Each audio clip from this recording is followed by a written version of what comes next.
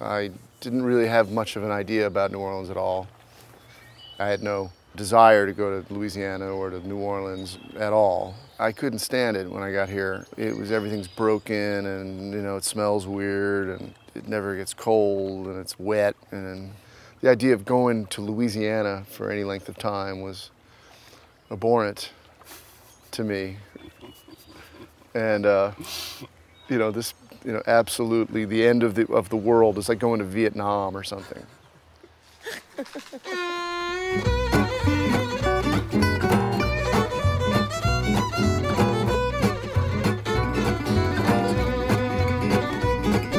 I came all the way from Italy, shooting documentaries on New Orleans on a shotgun boogie.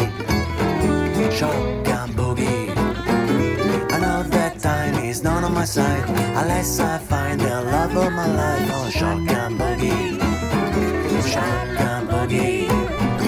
I guess I'm dancing and I wanna keep it like that. Okay, I'm a sound engineer from Italy working on a documentary about the city of New Orleans with a six months visa with the help of a couple of friends that are outsiders as me. We're asking questions to musicians that are returning our call. My English is not good. This is pretty much what I can tell you in 30 seconds.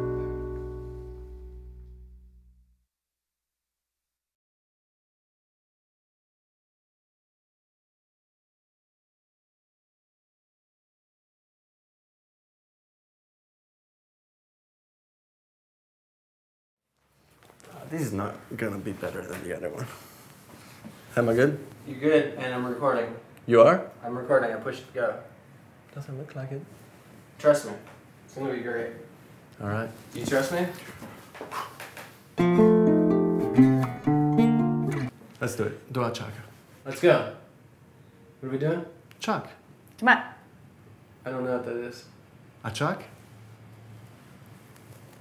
New Orleans is not the South.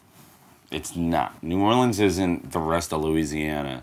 It's just not. New Orleans is it's it's it's it's Cairo, it's Budapest, it's Tokyo, it's a port, it's New York, it's San Francisco. It's where if you need to get to the rest of the country, this is a good place to start. And so every mm, culture has funneled through this delta to go up the Mississippi and do what they have to. Or they just get here and they're like, why would I ever leave? We are founded by nuns, pirates, and hookers.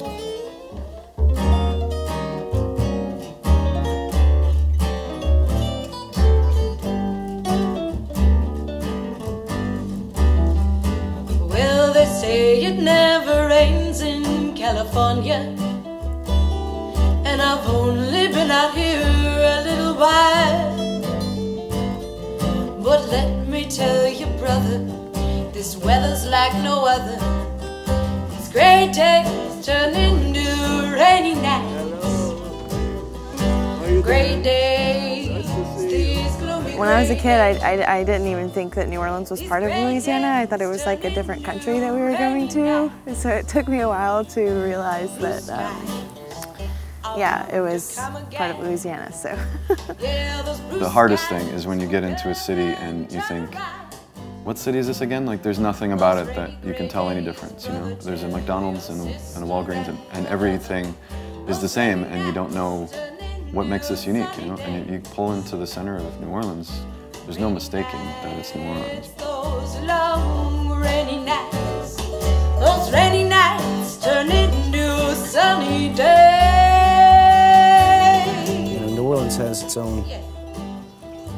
Rhythms that are very unique to the city and, and the culture, and just a different way of going about doing things. This is one of the few places that has those old, broken things, but the, the deep culture, you know? I mean, there's the stench of decay, you know, everywhere. There's also life coming up through the cracks everywhere. We can't suppress the life force here. It's, you know, things are growing, mold and people and, uh, you know, music everywhere. Its music comes out of the streets, you know. It's got a culture but especially the Mardi Gras Indians and the brass bands and the parades that you don't find anywhere else in America for sure.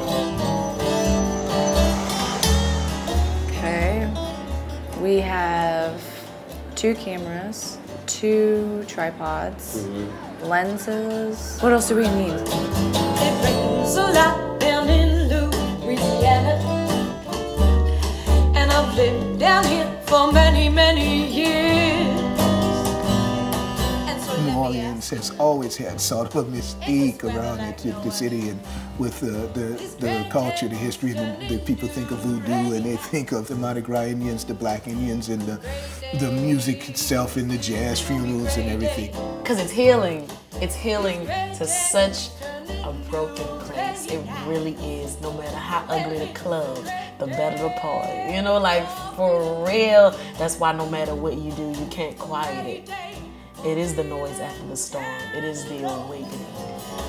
And if your heart is heavy, maybe this will keep you steady. Those rainy nights. that there is something special, something energetic, something spiritual, something magical that comes from this place and the people of this place. And so I think people that come to New Orleans they either love it or they hate it, you know, there's no in between.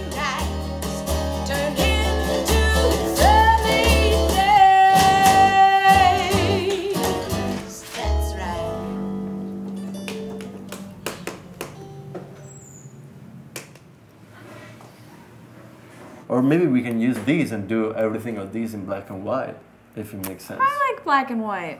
Hmm. I don't know, it's not attractive. Then why did you suggest it? It just felt like every there were so many secrets. It was like a mystery that I wasn't wasn't sure I like really fit into or enjoyed, you know. There are a lot of other beautiful vacation destinations around the world and uh, in other parts of the United States too. But the, the music, the culture, the food, uh, the people here, the characters, the colorful characters, all make the ingredients for a city that's unique and special in a way that many other cities are not. everybody's a character everybody has a story and they want to tell it to you and they're genuine and they're you know they're kind they're warm people they're crazy but in the best kind of way the best kind of crazy I feel like in the world there's like this stifling of real exploration of public emotion. And I think that here it's very acceptable to be a human being. You'll meet people here that just feel like people. Period. No color, no race, no different ethnicity. And if they are, you just take it as something to learn from instead of a difference. You know? people who are so i don't know just uninhibited in their own uh, you know with, with who they are they don't you know they're not trying to be anything or fit into anything because new orleans is a place that embraces strangeness you know and creativity and creative people Every corner that you turn is like this art installation or something. The way people decorate their yards and the way people come out in the street and are just listening to music and cooking food. And it's comforting to be in a place that's just so receptive to creativity. New Orleans is not necessarily what you make of it because it will make you. If you, you know, go on Bourbon or Frenchmen or Oak Street, you will be inspired. You will be intrigued, you know? So it's a special city because they keep, they preserve a lot of things for your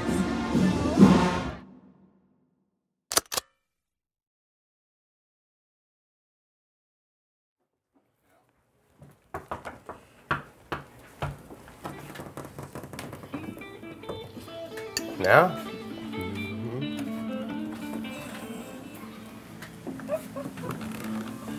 So this is gonna happen. We gotta celebrate. Special, special day, special day. Give me a hug. Give me a hug. Bruno! Yeah. We did it! Let's come here. the person that we're gonna interview today is like really special, right? Mm-hmm. So we gotta celebrate. Nice. It's not that it's really early in the morning, right? No. No, it's, it's afternoon. Almost sunset. Salute. Salute. Good job. All right. What's so special about today? When uh, we first moved here, I felt like we didn't really fit into the city so much. But then it was from seeing this uh, artist, it felt like, ah, this is the New Orleans we've been waiting to find. Just his sound, even like listening to him from outside the bar, you're like, Yeah. it just feels like the right thing. I feel like it's something that you have to be there too. Are we finishing this now? Well, I mean, maybe we should leave something for Bruno. What do you think? Bruno. yeah. All right. See, when I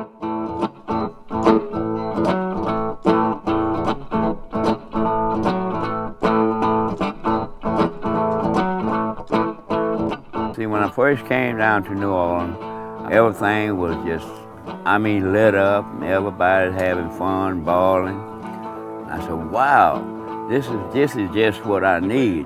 This is the place for me. This is where I'm supposed to be. So my mom, she said, boy, how did you enjoy your trip? Did you like it? I said, no, I didn't like it. I loved it. Oh Lord, Lord, oh Lord. But I got down to New Orleans around Halloween time and was wearing a t-shirt. And I decided that I was gonna go back to Boston, get all my stuff, and ship it down to New Orleans. And I just moved. For me, what was better was moving here, you know, being a part of this. Because of a dream, yeah. You got the mighty old Lord. You got the mighty old Lord. What did you know about New Orleans before coming here? Nothing. Absolutely nothing. I just knew, you know, like I was raised in the South, so there were some things that I expected when I moved here, just it being a southern city, but no, I had no idea. You know, I, I, I didn't know that it was Music Town, you know, and I didn't know that I was going to be in, involved with music.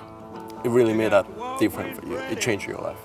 Totally, totally. I mean, I, I, I don't even, I have no idea what would have happened if I'd ended up in Portland, Oregon, or in uh, Providence, Rhode Island, or Boston, Massachusetts. Uh, when I first got down here, how did I feel? I guess uh, embarrassingly horny. I was young. I was 19 years old, and I was just uh, uh, running around and, and found the place just really uh, alive and sexy and dark and weird and anything that I wanted to be at that point in time. Yeah. It's just like a great pot of gumbo. Whatever you ask for, or either desire for, it's here. And that's what's so great about it to me. And once you get here, you get hooked. You get a number eight hook hook in you, and you can't not get it out. There's something weird about this city. It's kind of got this creepy energy, and I wasn't sure if I was really into it, honestly. Dangerous. I always felt like a fight was going to break out. It was a good time. Oh, it's a, it's a very dangerous city. I mean, the city doesn't make any sense, you know? It's, it's under water, you know? It's under sea level, and it's in this bend of the river that at any minute could just flop over and, you know, wipe out the city. Thank you very much you